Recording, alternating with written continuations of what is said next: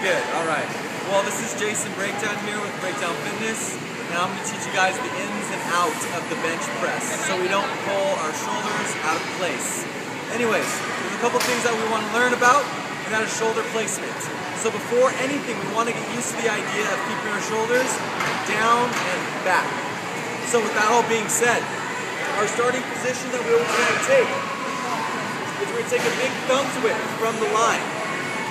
So we got big hands, so be it, but this is how we want to get ourselves set up. Big thumb width from the bar line here.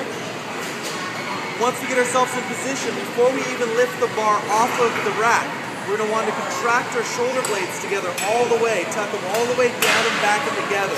This is going to provide proper shoulder torque. Now once I lift the sucker off, I want to try and get good external rotation.